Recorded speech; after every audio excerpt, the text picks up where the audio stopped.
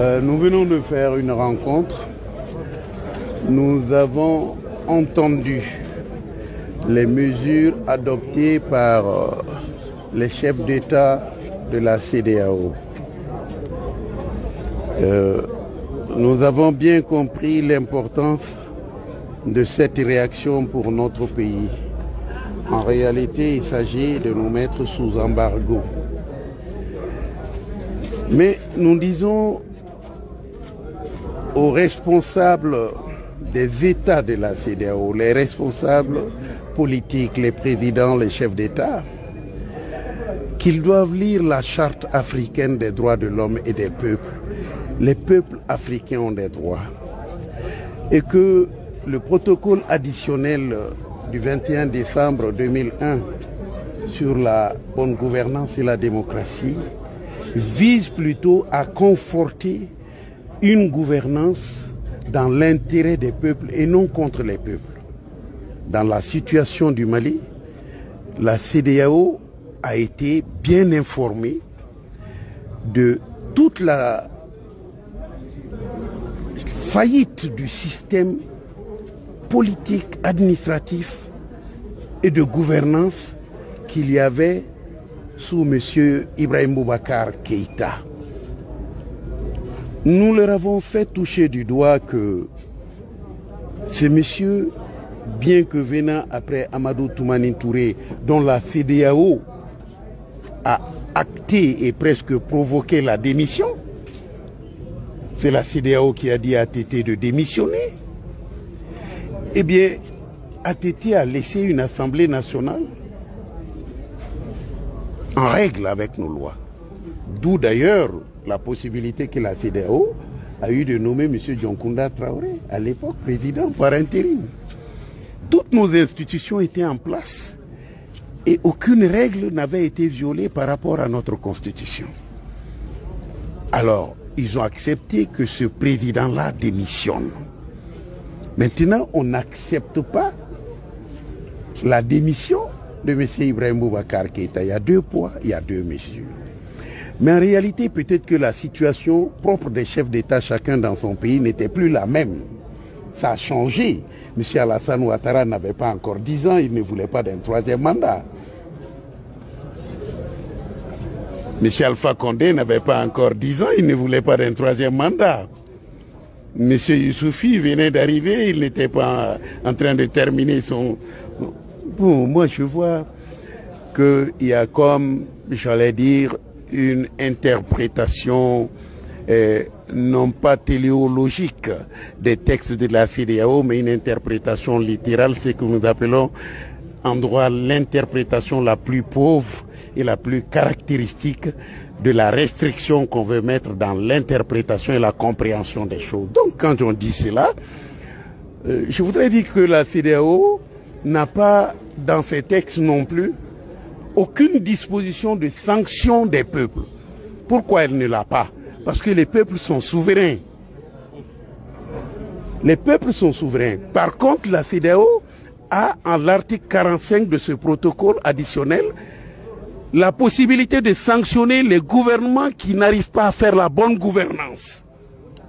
Au lieu de sanctionner M. Ibrahim Boubacar Keïta, de lui dire on te retire des instances de la CDAO parce que les enfants du Mali ne vont pas à l'école, parce que la santé a fait quatre mois de grève, parce que les juges ont fait quatre mois de grève, rien ne marche chez toi, l'Assemblée, tu n'as pas pu organiser les élections, le Haut Conseil des collectivités territoriales, ça fait 13 ans qu'ils sont là-bas, leur mandat n'est même pas renouvelé par une loi anticonstitutionnelle, et le Conseil économique et social ton Premier ministre n'a même pas fait de, de, de, de politique générale.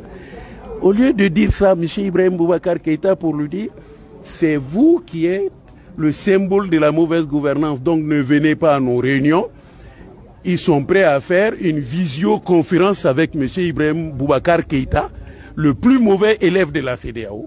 Mais ils sont prêts à sanctionner le peuple, l'un des peuples les plus courageux de la CDAO. Nous avons pris notre destin en main et que la CDAO sache, que la CDAO sache qu'il est en marche un printemps ouest-africain des peuples ouest-africains contre des gouvernements et leurs syndicats qui violent nos droits. Ça, c'est clair pour moi.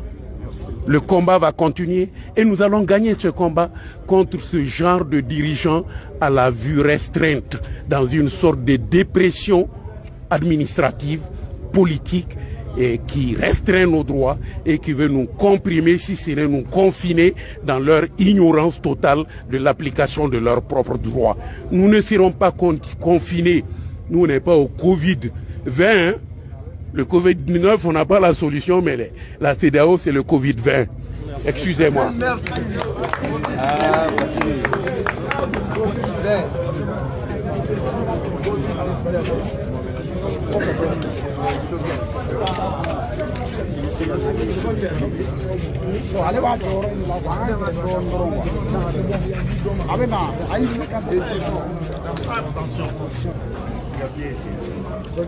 Eh, bonsoir.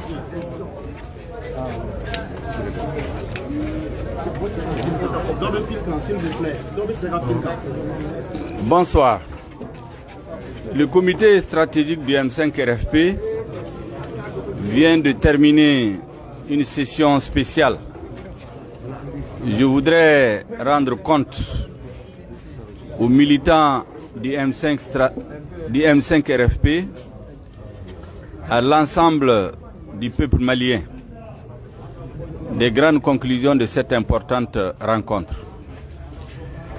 Nous avons enregistré et examiné la situation sociopolitique créée depuis le mardi 19 août 2020 en République du Mali. Le M5 RFP se félicite de l'aboutissement du combat héroïque du peuple malien. Cet aboutissement est la démission d'Ibrahim Bokar Keta du poste de la fonction de président de la République, de la dissolution du gouvernement et de l'Assemblée nationale. Nous avons aussi pris acte de la déclaration du Conseil national pour le salut du peuple, le CNSP, d'ouvrir une transition politique civile. Nous avons salué avec force l'ensemble des composantes du peuple malien, particulièrement la jeunesse du M5 RFP et la diaspora et les femmes. Nous avons dit que pour couronner ce succès,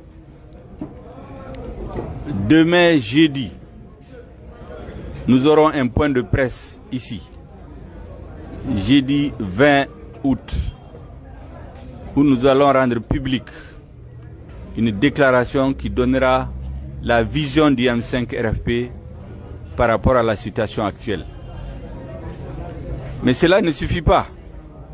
Nous avons décidé d'organiser un grand rassemblement patriotique à la place de l'indépendance le vendredi 21 août 2020 et sur l'ensemble du territoire national pour fêter la victoire du peuple malien, pour remercier le peuple malien dans toutes ses composantes, les jeunes, les femmes, la diaspora, tous ceux qui se sont joints à ce vaste mouvement populaire depuis des mois. Nous avons constaté avec euh, beaucoup de bonheur que le changement s'est opéré sans violence. Nous savions ce que ce pouvoir préparait contre les futures manifestations du M5 RFP. Et c'est pour cela que ce qui s'est passé, les changements en douceur, nous a été d'un point positif pour l'avenir de notre pays. Nous avons aussi dit que la communauté internationale doit avoir une attention particulière par rapport au peuple malien. Et la mobilisation du vendredi 21, mars, 21 août doit donner la preuve que le peuple adhère à ce changement. Un premier signe, c'est que nous avons